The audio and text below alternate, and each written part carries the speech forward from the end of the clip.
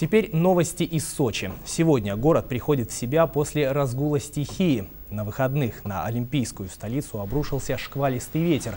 Он валил деревья и линии электропередач. В море поднялся шторм, волны смывали пляжи и даже частично подтопили прибрежные гостиницы. Сегодня в Олимпийской столице и на подъезде к ней полностью восстановлено движение транспорта, электро- и газоснабжения. Неполадки устраняют лишь в нескольких домах Лазаревского района.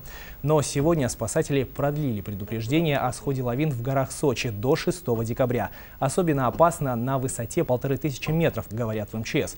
От лавины уже пострадали два человека. Сегодня местные спасатели завершили операцию по вызволению мужчин из снежного плена. Она продолжалась сутки. 4 декабря в Адлерском районе на северном склоне хребта Аибга сошел снег.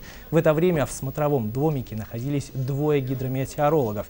Они отслеживали ситуацию для горнолыжного комплекса. Сначала спасатели обнаружили обломки строения, а потом приступили к раскопкам. Мужчин нашли живыми, но с серьезными травмами. Бегом, Возьмите.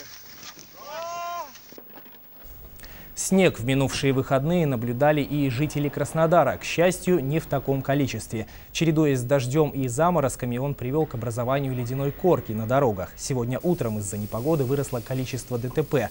По данным полиции, с утра произошло 95 аварий. Это в два раза больше, чем обычно. Кроме того, были зафиксированы 9-бальные пробки. В администрации сообщают, что на уборке улиц от снега и гололеда в выходные всего было задействовано 32 единицы техники.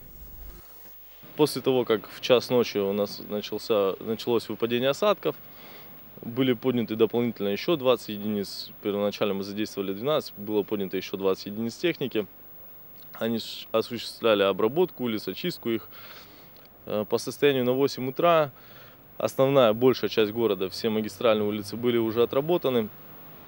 Э, и машины перешли к выполнению работ на пригородах, на улицах менее значимых на улицах второй очереди.